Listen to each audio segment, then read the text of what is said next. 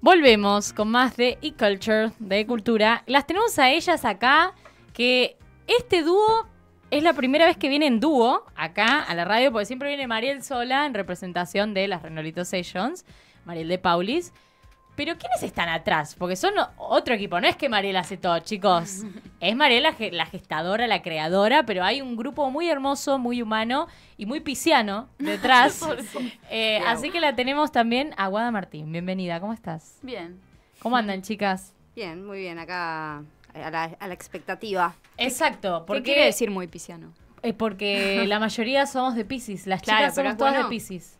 No sé. no sé, Por no sé si es bueno mezclar mucho Pisces. Mucho, Por ahora va bien. Malo, Es, sí. Nos cuesta concentrarnos, quizás ah, estamos todas juntas, pero hay buenos resultados. Bien, bien. Eh, lo que tiene Pisces es que vuela, pero eh, eh, tiene mucha rama para el arte, ¿sabías? Ah, mira. Para la imaginación, la creación, lo artístico. Bueno, viene bien. Sí. Pero eso cuando traigamos una astróloga. Ah.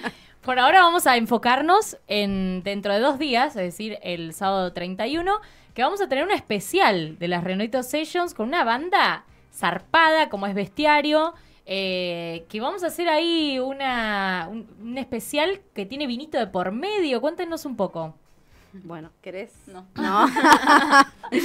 bueno, eh, sí, es un especial como el que hicimos en el Teatro Municipal, que ese era de, gala. Bueno, este es un especial, pueden ir, no hay dress code, digamos, pueden ir como quieran vestidos.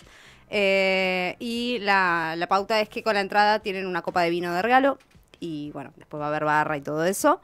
Eh, y nada, es como las otras Renolito, digamos, es una asistir a una sesión, a una grabación, poder ver toda la parte del backstage. ok, esto no es ir a ver un recital de bestiario. No, eso, es una propuesta distinta. Claro. Es como estar en el detrás de escena de la ah, grabación. Digamos, van a ver como todo el movimiento de la entrevista, de las cámaras. Entonces, como estar en, el backstage de una grabación que después pueden ver en YouTube. Entonces, está bueno como ser parte de la creación. y algo más íntimo también. Claro. Claro. Está bueno. Sí, sí, estás ahí como eso, viendo, puede haber cortes, puede haber movimientos de cosas o repetición de una canción. Eh, en general es, corto el tiempo de grabación, o sea, de, canciones en realidad, pero bueno, puede pasar esto que se repita, hay una entrevista al principio, como venimos haciendo ya desde el año pasado. Em, ¿Y por qué eligieron Espacio Fanes esta vez? Es un espacio nuevo que nos recomendaron y la verdad que nos gustó mucho cuando fuimos a verlo. Eh, es muy grande, es más bien está orientado a lo que es eh, danza, o sea, está más preparado para eso en realidad pero bueno, ya vienen haciendo,se algunos shows ahí y es muy grande. Entonces, ¿Dónde queda para que la gente, la gente que no conoce? Está en calle Namuncurá 672, que es eh, en barrio Bellavista. Es una cortadita. Ah, es una cortadita, es una calle medio desconocida, digamos, para la gente que no es del barrio, pero es muy cerca del centro. Es, eh, sí, a una cuadra de, mm, de Bransen, ahí ah, cerca de la estación de la Celina. Em, no sé. Ah. Los invitamos. no, eh, sí. No, eh, ¿y qué diferencia hay de estas eh, Renolitos especiales que están haciendo ahora con las que venían haciendo en las distintas bibliotecas? Bueno, en la de El espacio, justamente. Justamente. Ah, bien, las especiales tratamos de salir de la biblioteca y elegir otro espacio. Eh, al principio de año fue en el municipal y ahora elegimos Espacio Fanes, que también era un poco lo que queríamos, como un espacio que sea visualmente más limpio quizás, que pueda haber barra, que podamos compartir como un rato previo y después también del, show. Eh, y nada, por eso elegimos ahí.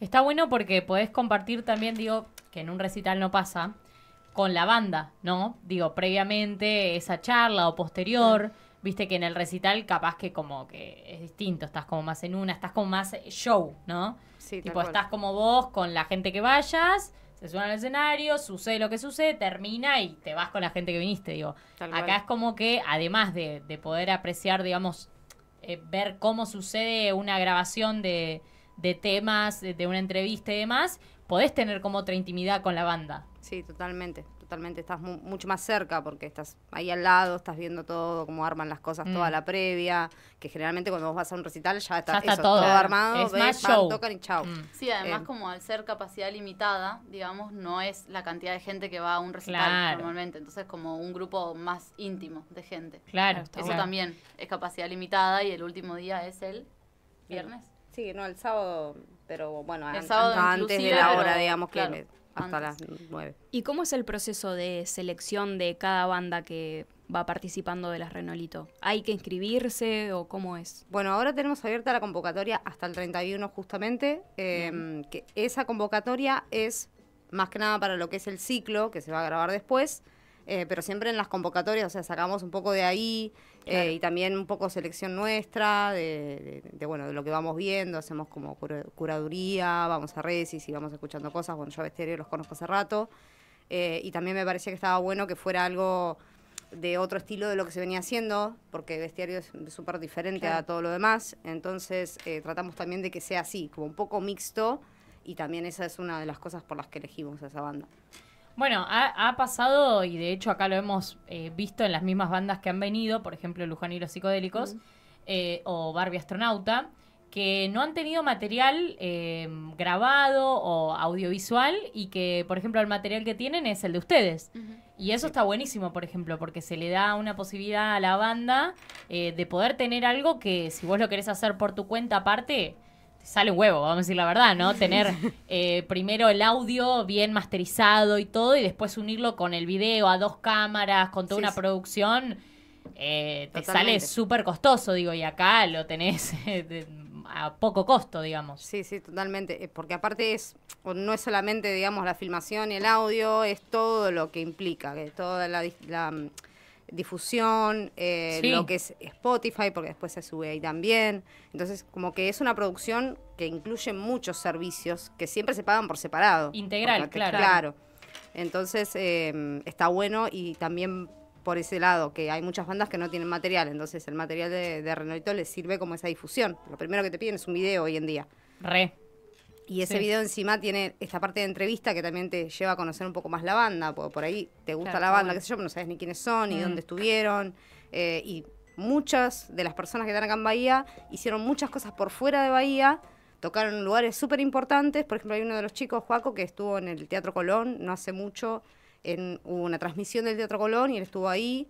Eh, seguramente lo va a contar un poco, pero la mayoría no, no, no conoce mucho la, la, intimidad de las personas que están. Sí, también eh, muchas bandas que hemos visto, como que, no sé si decirte el boom, pero sí que participaron, por ejemplo, de fiestas nacionales o de, em, no sé, la primavera acá en lo local, el Camarón Langostino. Sigo mencionando los mismos, pero los que mencioné, digamos, ha pasado que primero pasaron por la Renolito y después los han llamado. Pilpele por ejemplo, Garúa, eh, Garúa bueno, como ya dijimos, Barbie, eh, Luján, digo, eh, un montón que, que capaz que no eran tan conocidas y la visibilidad de tener ese tipo de material también ayuda. Sí, sí, además la calidad, eso está bueno del, del, material porque por ahí, no sé, tienen algún festival, les piden material y tienen de un resi con el celu. Sí. Y de repente ahora los que estuvieron en Renolito, digamos, tienen un video con buena calidad que pueden compartir y que lo puedes ver y escuchar bien. Mm. Claro. tal cual. ¿Y cómo surgió, para el que no lo sabe por ahí y no conoce tanto de la Renolito, eh, cómo surgió desde el principio y con qué objetivo? Y verlo también cómo creció hasta el día de hoy, ¿no? Sí, eh, bueno, en principio surge también como esta idea de generarles un material a las bandas, eh, difundir la, la, cultura local de una manera un poco más que pueda salir de Bahía, que por ahí un reci y todo está bien, pero eh, no llega fuera de Bahía si no vas a tocar otro lado. Queda ahí. Entonces, claro, y si no tenés nada en Spotify tampoco, o en YouTube, o algo más o menos que te pueda llegar un, un poco de gente. Y también como un canal donde vos puedas recurrir a ir a buscar música nueva. Em, la idea surge de, lo que es eh, Tiny Desk, que a mí me gustaba muchísimo y que yo encontré en esa plataforma justamente eso, que yo iba y podía encontrar artistas que me gustaban porque sabía que eran buenos los que estaban ahí, no había cosas que, o sea, fuera de mis gustos, sabía que era un, buen material mm. y, que eran buenos músicos de todos lados. Entonces, la idea fue replicar un poco eso acá, o intentar replicarlo eh, y, también con esa estética de, que sea siempre una biblioteca, también que, que se vaya moviendo por la ciudad. Eh, por distintas bibliotecas, que son un poco más la, impronta, digamos, que se le dio acá a eso, que no sea exactamente igual que, ese canal. No solo eh, darle visibilidad a las bandas, sino también a distintos lugares de la ciudad que por ahí no son tan conocidos. Exactamente, sobre todo, bueno, esas bibliotecas populares de barrios. Eh, que, la idea es eso, que cada año vaya rotando por un barrio diferente. Y, sí, con la importancia que tiene una biblioteca popular, ¿no? Sabemos que es una institución eh, de las que son, digo, como los clubes de barrio, como una escuela, instituciones que tienen contención eh, de, distintos tipos, digo, ¿no? Me puede ir, como decimos, de barrio, que la gente va no solamente a buscar un libro. Claro, es, a, disfrutar de las actividades, claro. Es un lugar de contención. Sí, tal cual. Entonces, tener este tipo también de, de acercamiento con un artista que capaz que nada que ver con ese barrio, o llevarle esta propuesta diferente cultural eh, es interesante. Sí, sí, tal cual. Aparte, se, mm, o sea, lo, que hemos hablado con bibliotecas es que por ahí tienen idea de que vayan un poco más jóvenes, por, por ahí en la biblioteca Claro, bueno. No sé, si van a alguna actividad, pero por ahí el, adolescente no mm. es muy cercano a la parte de libros y de leer. Quizás, bueno, Renolito no es eh, justamente para eso, pero por lo menos los acerca al espacio. sí, claro. A participar de, otro lugar. Claro, y de, hacerse parte de la, biblioteca y de lo que es el barrio también, ¿no? Mm, claro. Incluso nosotras mismas, como buscando bibliotecas, conocimos eh, un montón que no sabíamos su existencia y hay lugares súper lindos. Chicos, hay una cantidad de bibliotecas populares, no quiero decir un número porque sería erróneo total, pero conoceremos 10 y son como, creo que casi 30 en la ciudad, ¿eh? en Bahía Blanca. Es impresionante la cantidad que hay y el desconocimiento que tenemos porque, bueno, esto de la eh, Bahía Norte, Bahía Sur, viste que parece que estamos como en la otra punta y no conocemos eh, claro, y muchos porque tampoco se utiliza para muchas otras cosas. Creo que ahora sí se está usando un poco más para para otro tipo de actividades, que está bueno. Em, pero, pero en sí uno dice la biblioteca y voy a buscar un libro, no sé, de barrio, no conozco otra, o la biblioteca Rivadavia, que es la clásica. Sí, sí, la central. Eh, pensaba en esto que, decías antes de, mm, eh, digo, de cuando hablabas de cómo se gestó el proyecto, digo, qué interesante esto de en la falta, viste, muchos proyectos surgen de la falta de, de ver, por ejemplo, acá la falta de material para las bandas, digo, y cómo utilizar el recurso que uno sabe o el don que uno tiene, digo, en este caso, vos que, que sabés manejar la cámara y buscar a tu alrededor, que me gustaría que, digas quiénes están detrás, porque también está bueno eso. Digo, que no es que sí hago este proyecto para, para tener guita, porque no va por ahí. Entonces, me parece interesante eso, digo, como, bueno, yo, che, yo sé hacer esto, me gustaría dar una mano porque soy eh, participo de la cultura, porque voy a los res y porque me gusta las bandas y las consumo y quiero que crezcan con lo que sé y con lo que puedo aportar y busco a mi alrededor gente que pueda aportar a ese proyecto, ¿no? Me parece que eso está bueno. Sí, eso está bueno. Em, igualmente como que yo sabía de fotografía y no era mi área tanto la parte de filmación ni de producción. Eso lo fui aprendiendo a medida que lo fui haciendo. Eh, y muchos también de los, de los que están detrás, algunos ya habían estudiado cosas, o sea, tenían un conocimiento, obviamente no iban de la nada, eh, pero fuimos aprendiendo de alguna manera entre nosotros ¿no? A, crear esto cada vez mejor, no ir mejorando año a año, porque el primer año éramos tres personas. Es como tu bebé. Claro, tal cual. Y la idea también es que se vaya notando ese crecimiento nuestro en la par del proyecto, no es que el proyecto como que, uh, listo, hice así, eh, le dije a estos tres y que vengan acá y ya está. O sea, medio fue como por gusto personal y también por esto, por decir, wow, hay un montón de bandas estaría bueno replicar este proyecto, pero nunca lo, no lo pensé desde el lado de ganar plata. No es que yo dije, hago este proyecto así para ganar plata, para nada. Porque pensarte en, el, en el crecimiento que después tuvo. O sea, quizás sí como mm. un deseo, pero al principio eran como tres personas y de repente somos siete. Y todos ocupando un área de una forma súper profesional y es como, wow, mira lo que hicimos. ¿Y quiénes son, quiénes están en el proyecto? ¿Quieres nombrar vos? Ah, dale, habla vos porque si no hablo solo yo. ¿No? Bueno, que vamos a poner en el reel igual. Yo soy la escenógrafa y no estoy acostumbrada a hablar en ah, público. más o menos igual, se hace la tímida, pero tiene más experiencia la que dice. Eh, bueno, en principio Wada es la productora, es la directora de arte. Eh, bueno, ella es eh, productora, iluminadora, estudió en la Escuela de Artes Visuales, así que la tiene de la Escuela de Teatro, perdón. ¿El año pasado tenían eso o no? ¿O lo agregaron este El año pasado, sí, ella entró el año pasado. Ah, bien. Eh, igual que Pilar Rodríguez, que está en la parte de redes sociales y todo lo que es eh, asistencia de producción, hace la parte de catering y bueno, varias cositas más, nos dividimos bastante entre las tres eso.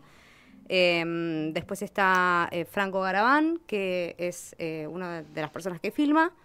Em, y hace toda la parte de la edición de todas las sesiones. Desde el año pasado solo editaba, este año pasó también a filmar eh, y a editar las sesiones. Em, bueno, ahora está Cristian Jiménez en la parte de sonido. Vamos. el señor operador. Em, ¿Te escucho? Yo me escucho.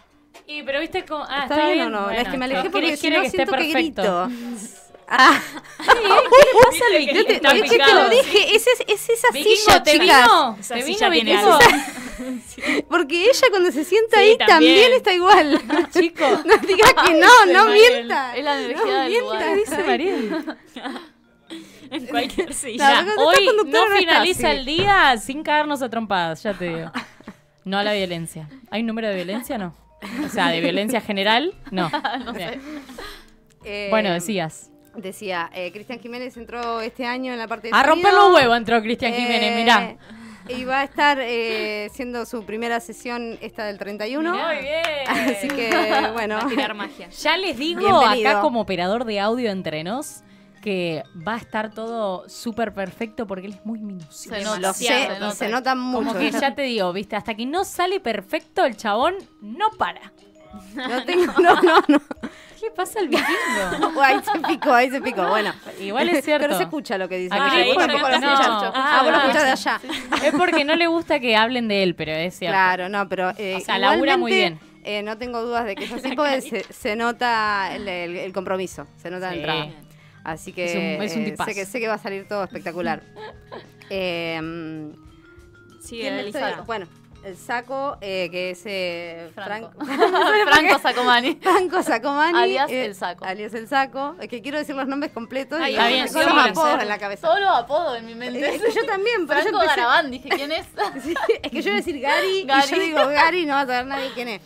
Es Franco Garabán. Es el que hace los flyers y todo el diseño. Exactamente. Es muy bueno. Sí, Sí, él lo he hace visto toda- en es ilustrador y bueno, hace toda la parte de las gráficas de, de las redes. y Siempre la- nos sorprende, la verdad. Como, Sí. che, Saco, ¿podés hacer un flyer? Bueno, el que hizo ahora del vinito, repiola. Sí, sí, No sí, se sí. nos había ocurrido a ninguna que- y de Claro. repente me escribe y me dice, che, ¿pensaba hacer una etiqueta de vino? Sí. Sí. sí. Y Sí, es la magia, viste, esto, esto que te decía, digo, del profesionalismo de llamar al que sabe de eso. Porque obvio, uno se va a dar maña para hacer un flyer, pero el que sabe, sabe. No, Sí. no, o sea, no, no hay, hay- con qué darle. No hay comparación con Es eso. así. O sea, eh, está buenísimo poder delegar esas cosas y confiar en la persona que vas a decir, no tengo que decirle nada. Claro, ya sabe y exacto. resuelve siempre bien. Claro. Y eso es genial Nah, y es no es gol. tan fácil de conseguir. No. Y la verdad que en este equipo pasa Sí. con todas las áreas. O sea, todos eh, se remanejan lo suyo y, y- y resuelven. Y resolver para mí es fundamental. Tip. Ser resolutivo. Ser resolutivo es ¿Qué genial. busco en alguien? Que sea resolutivo.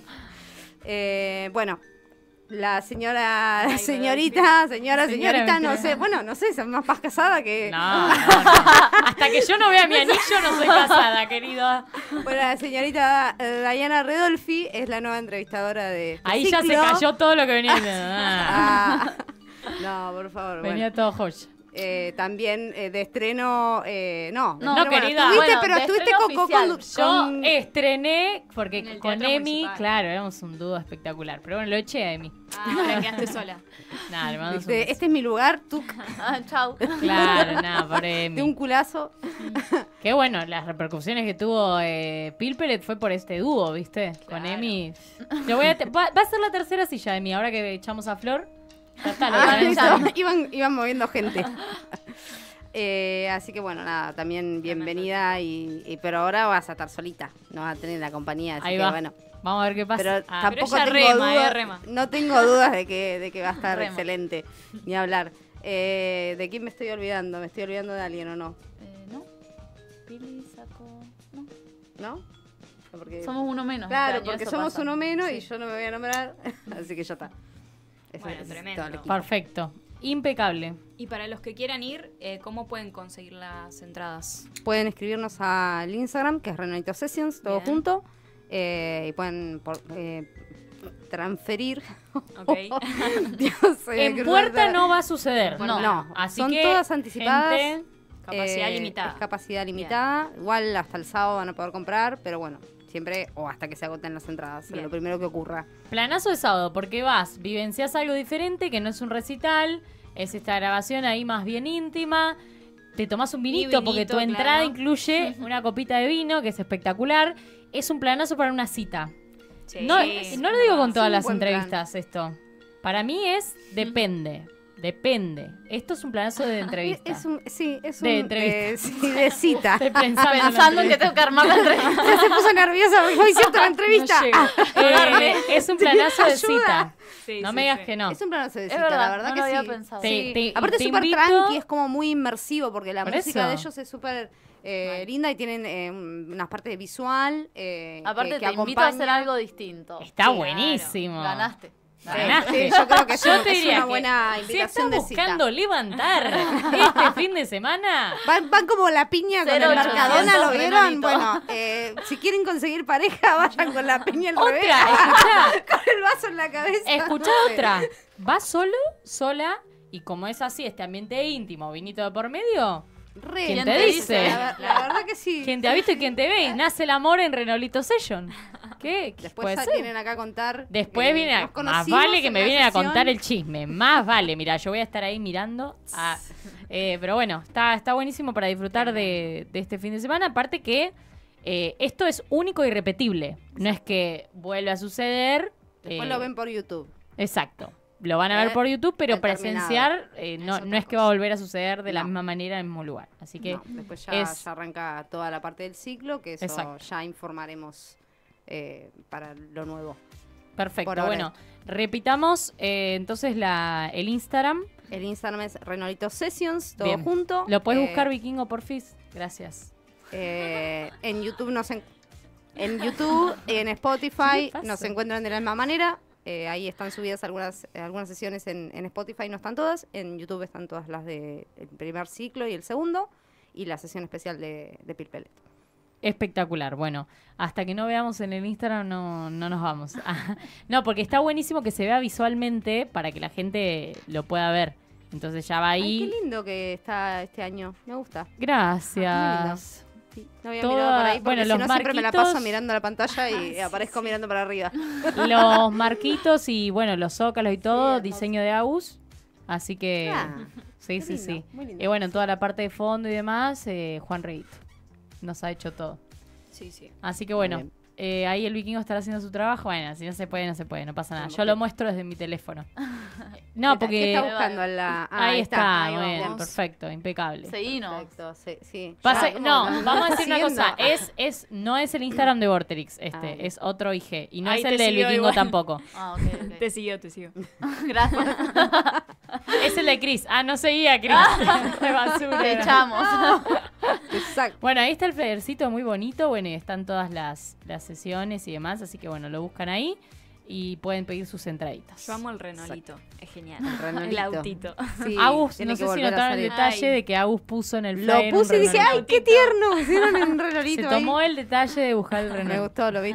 Me encanta. muy bien. Bueno. Ah, tenemos eh, eso, las entraditas. Claro, tenemos el sorteo de las ah. entradas, exacto. Hay que fijarnos. Eh, para ver qué ha puesto la gente. Recuerda Mariel. Sí, amo. Es que, chicas, yo ya soy chica de radio ya. Claro, eh, ya estoy muchas veces. Está, puede ser la cuarta integrante. Bueno, la idea es justamente que eh, contesten la historia para participar de las entradas, eh, para justamente, como decimos, si no estás medio ahí a fin de mes, digo, ah, podés participar de tus eh, dos entradas, un par, ¿no? Un par de entradas, sí, sí. Eh, para, que vayas. La cita. Para vos y la cita, simplemente tenés que ir al Instagram de Cultura y contestar la historia que eh, dice cuál es tu sesión favorita de la Renolito Session, por supuesto. Así que vas, contestás y ya estás participando para tener eh, tus entradas para este fin de semana. Así que después vamos a estar diciendo ahí el ganador o la ganadora de las ¿Cuándo? Y vamos a ver si llegamos hoy con el tema de los tiempos. Y, pero bueno, atentos, atentos porque... Si no sale en lo ponemos mismo en el, Instagram. Sí, sí, lo ponemos todo ahí en, eh, las historias. Así que ahí... Sorteo Express. Sorteo Express, exactamente. y sí, porque ya últimas entradas. O sea, estamos quitando dos lugares a ya la capacidad reducida. Así que no se cuelguen. No se cuelguen. Bueno, chicas, gracias por haberse venido hasta acá. Felicitaciones por, todo el laburo. Y bueno, allí estaremos el sábado. Ni hablar. Vos, la primera. Vos sí o sí. no te queda otra, así que. Voy a ver si voy. Ponete a escribir la entrevista. comprometida. Claro. Bueno, y Agus va a estar complicado Ay, porque tenemos el cumple, de Flor. Ah. Flor, hija de la re... ah, Sí, no, nos ¿Qué cagó el hace ese Siempre igual parece a propósito, ¿viste? Sí, Porque el día que algo. Renolito, siempre hay. Bueno, ¿qué va a Pero va a haber Reno- Renolito Fest este año, no se sabe todavía. Chan. Ah, Sí. La idea es que sí, Ah, siempre bueno, es que sí. Ahí hay que estar siempre. Pero bueno, vamos a paso a paso. Bien, bien. Ahí va. Bueno. Tiene que haber. Tiene que ver. Eh, perdón, cambio de planes. ¿Podemos buscar una sesión de las Renolitos que las chicas digan para poner de... ¿Cuál? Dice Cris, ¿viste? Rápido, resolutivo. que- ¿A vos te gusta la de Barbie o no? Bueno, a mí me gustan varias. Pero. La ponen a Elegí Schlepper me gusta a mí. Ah, Bien, Schlepper. si podemos buscar la de Schlepper, perfecto. y ahí nos vamos como para que la gente ya vaya viendo del otro Pongan- lado. Entra en calor. Entrando en calor, exactamente. Va viendo cómo, cómo será la, la situation.